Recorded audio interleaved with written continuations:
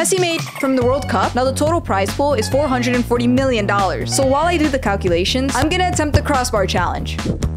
This is gonna take a while. Now being the winners, Argentina took home $42 million, but the players only keep 30%. Crocs aren't meant for this. So this means that the 26 players must distribute $14 million, where it's up to their federation to determine who gets what. My feet hurt. And considering Messi was the MVP of the World Cup, he should take a significant portion, where Messi usually takes around 10% of the team's earnings. And right when I quit the challenge, my mom decided to give it a try.